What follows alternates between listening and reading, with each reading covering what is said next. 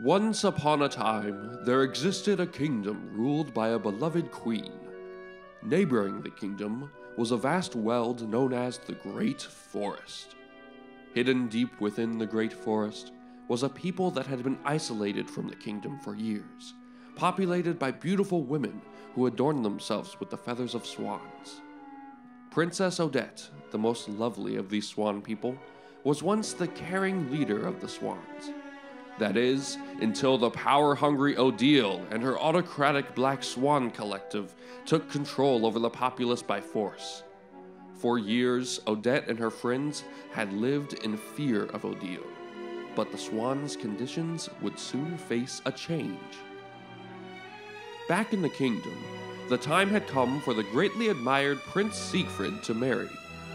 Anxious to find a suitable bride for her son, the queen organized a grand ball and invited maiden representatives from all lands near and far. Siegfried, however, was reluctant, and, hoping to take his mind off the ball, went hunting deep in the great forest.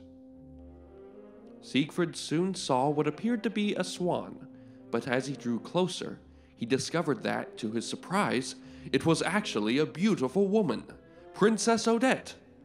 The two fell in love, and Odette gave one of her feathers to Siegfried as a pledge of their love. However, Odile soon discovered the pair and immediately became fearful that Odette marrying the prince of the kingdom would pose a threat to her power over the swans. Desperate to sabotage their relationship, Odile planned to have the Black Swan Collective attend the ball as representatives of the Swan people, while she herself posed as Odette dressed in the Black Swan garb. If successful, the prince would unwittingly marry Odile, further securing her power over the Swan people and ensuring Odette would never be free. Will Odile be successful, or will Siegfried remember the pledge that he made with the true Odette that would promise happiness to her and her people?